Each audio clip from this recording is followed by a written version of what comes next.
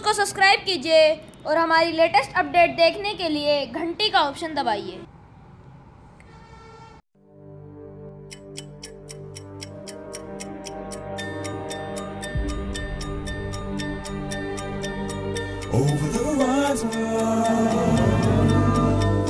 इन तस्वीरों को देखकर किसी की भी आँखें नम हो जाएँगी. खाना बर्बाद करते हैं ये तस्वीरें उनके लिए एक सबब है